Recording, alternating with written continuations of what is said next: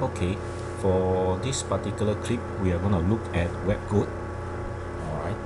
Uh, you can actually get your WebGoat as well as WebWolf from owasp.org you don't need to pay for it so you just download it directly from the website.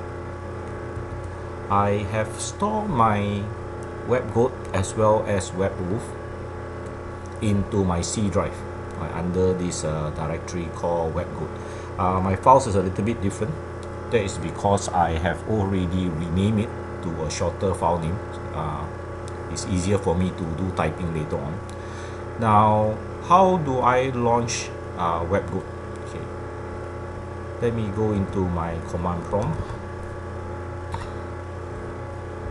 And I need to navigate to the directory first which is uh, WebGoat 8 Alright, then of course I can see the files inside here. Now this is a executable jar file, so I will need to use my Java dash jar alright, to execute the jar file, followed by the file name webgoat 8 dot jar. Okay, I'll hit enter and let it run. If this is the first time you are running this jar file, for WebGoat 8, you will take a little bit more time than usual. Well, that is normal. Uh, the subsequent time, it will be a lot faster. So just let it run.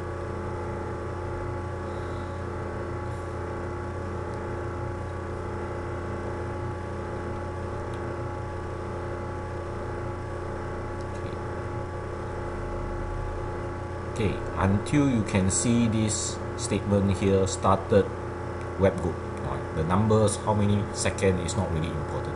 You need to keep this window. Alright uh, once you close this basically uh, get shut off. Okay this is something like your server. Now in order to use WebGoat I need to launch my browser. So I'll minimize this. Uh, I'll be using Firefox. I'm more familiar with Firefox but you can use any browser basically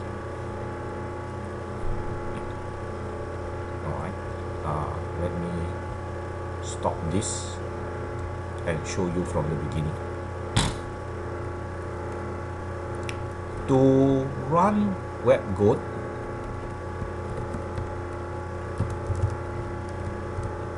you need to point it to your local host uh, colon 8080 which is the port number. Uh, it's a alternative HTTP port uh, WebGoat slash attack once you come to this website uh, you will find that there is a login screen. Uh, there is no more guest login so you want to create a new user for yourself. Alright so just fill up the form. Okay write your username your password. Okay then make sure you agree and then you just sign up. I already have signed up a username. So I'll, I'll log in using this.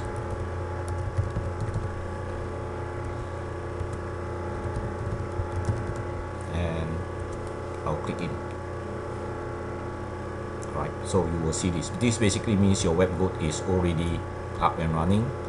Right you can see your logout the information and so forth over here. But WebGoat has made some changes recently to uh, the way it structures its program.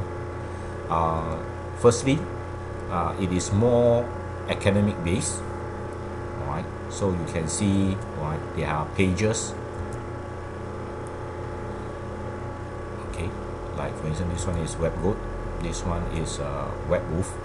Uh, you will notice in this page, you will see that there are this small little number on the top these are pages.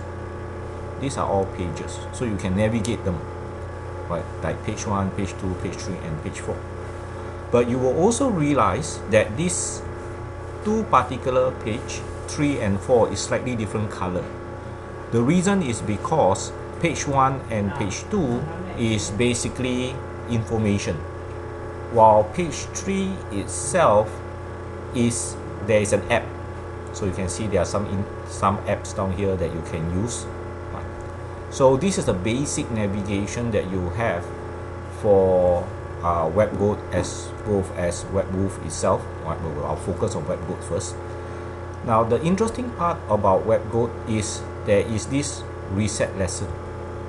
Uh, right now it doesn't does it doesn't do anything but once you actually have gone through some of the exercise and you want to reset the exercise itself use the reset lesson to reset the exercise then you can start it all over again. Alright?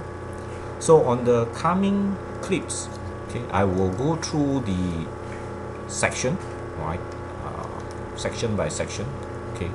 And hopefully by the end we will actually cover the entire the entire WebGoat series including WebWolf itself